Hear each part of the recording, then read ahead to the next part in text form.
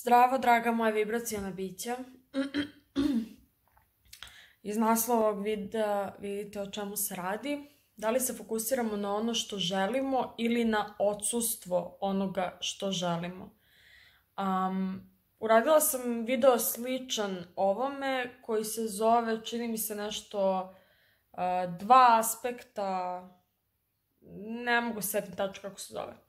Uglavnom, svaki put kada razmišljamo o nečemu specifičnom. Razmišljamo o tome ili na način na koji naše unutrašnje biće razmišlja o tome, beskonačna inteligencija, Bog, kako god ko želi to da nazove, a, ili razmišljamo kao naše unutrašnje biće, ili razmišljamo iz naše ograničene ljudske perspektive koja je isprogramirana da razmišlja iz e, stanovišta nedostatka.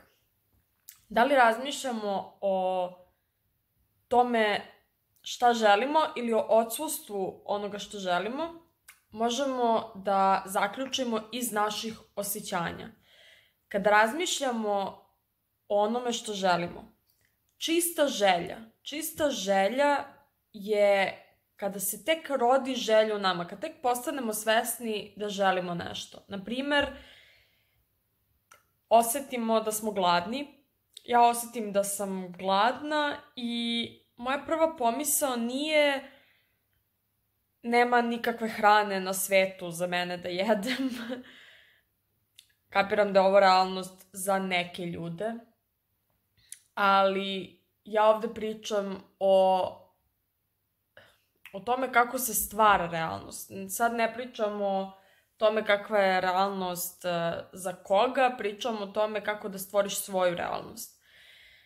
Dakle, kad se tek rodi ta želja u meni, ja pomislim, e, o, kao, šta bih mogla da jedem, kako, ono, krenem odmah da tražim neke poznate stvari u, ili neke ideje, neke inspiracije za to šta bih mogla da jedem.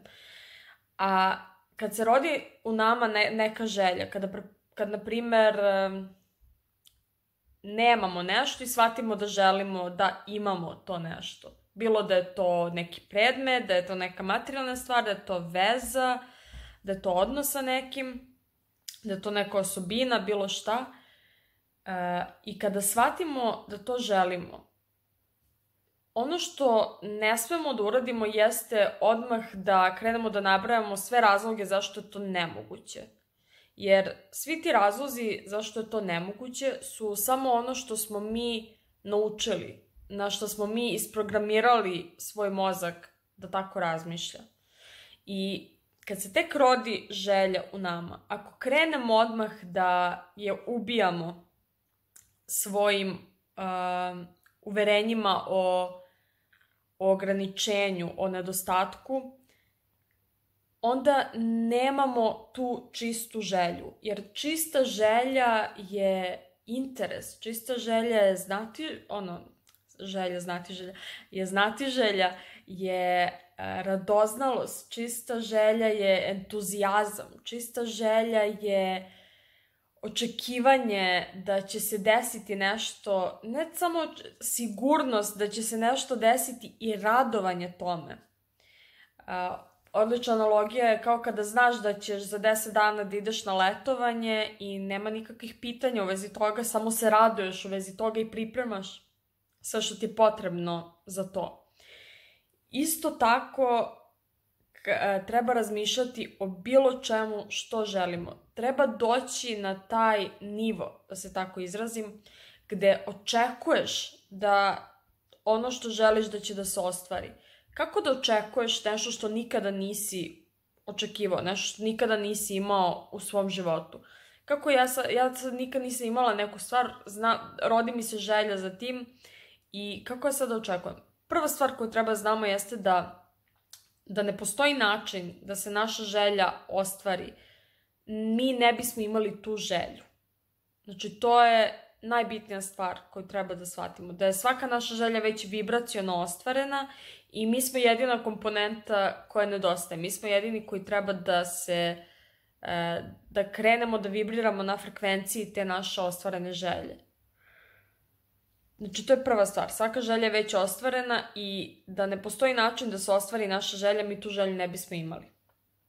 Druga stvar, treba razaznati šta je naša želja, a šta je nešto što mi mislimo da je naša želja. Postoji, ovaj svet je prepun informacija. Počevši od svih ljudi u našem životu, pa onda mediji.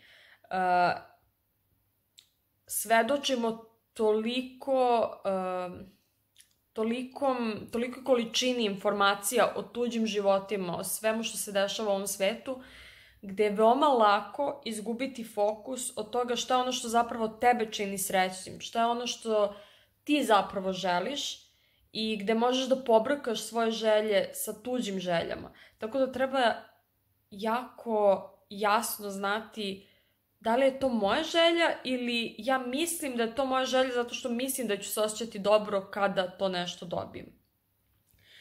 Znaćeš da je tvoja želja kada se osjećaš dobro kada razmišljaš o tome.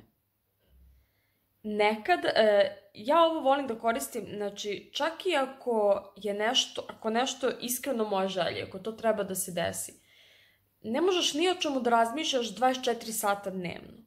Znači, o svojoj želji razmišljaj onda kada se osjećaš dobro u vezi nje, ako previše razmišljaš o tome, onda, uh, onda zapravo vibriraš nedostatkom toga. Onda zapravo ono što zaista govoriš univerzumu jeste ja ne verujem da će se ovo zaista desiti, tako da ću ja sada i sve snage to da ono da razmišljam i da zamišljam Tako da je to kontraproduktivno.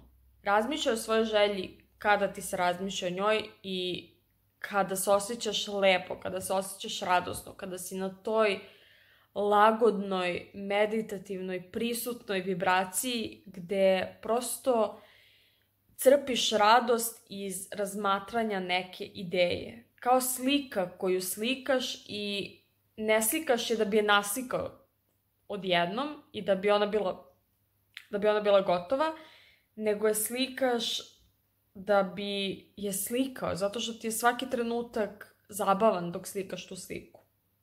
Tako da, uh, to, to, su, to su te neke tačke kako razaznati da li razmišljaš o onome što želiš ili o odsustvu, odsustvu onoga što želiš. I to je to. Je to ako razmišljaš o onome što želiš, približavaš se tome, to jest e, stavljaš sebe na frekvenciju toga i to može da se odvija lepo u tom životu i da ti dolazi u vidu manifestacija, u vidu radostnih trenutaka. Ako razmišljaš o onome što ne želiš, traćiš svoju maštu, traćiš svoju sposobnost fokusa, traćiš svoju sposobnost da radosno živiš u ovom trenutku. Što je okay, zato što smo mi svi ovde da učimo i da istražujemo i da grešimo i da se popravljamo i šta god.